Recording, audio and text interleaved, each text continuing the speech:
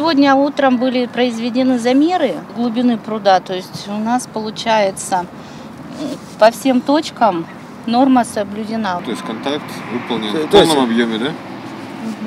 условия контракта, да, получается, все соблюдены. В целом, более чем на метр стал глубже большой пруд Кавыринского парка, малый на 40 сантиметров. Сегодня представители администрации и общественности приняли работу подрядчика. Подтверждающая этот факт подпись на документе – итог работы длиной почти в месяц. Сначала от мусора старого ила, камыша и тины был очищен малый пруд, затем большой. Расчистили береговую линию, убрав заросли кустарника. После этого экскаватором подняли со дня лишний грунт. Работа сложная и объемная. Объем работы очень большой, если честно.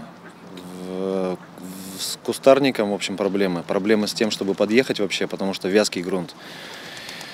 Э, проблемы с большой техникой, чтобы она подошла для того, чтобы вывести грунт. Вывезли больше тысячи тонн грунта отсюда, с обоих прудов. За чисткой прудов активно следили общественники. Они и были инициаторами проекта благоустройства парка. С этим вопросом к нам э, обращались и жители, э, которые в свою очередь также обращались в ТОС Ковыринский, и представители ТОСов э, как бы инициировали вот эту проблему э, необходимости очистки прудов. Администрация пошла навстречу им и изыскала дополнительные средства.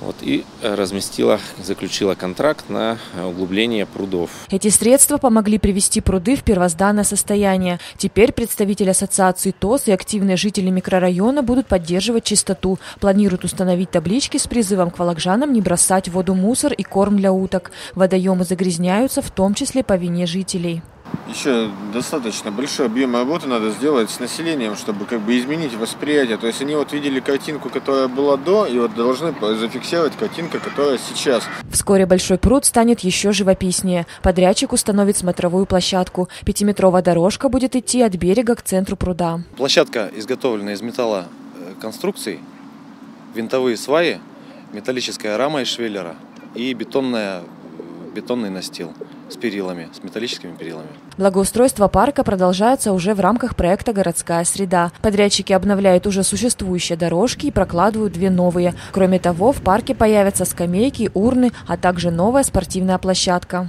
Мария Кудрякова, Михаил Прищев. События дня.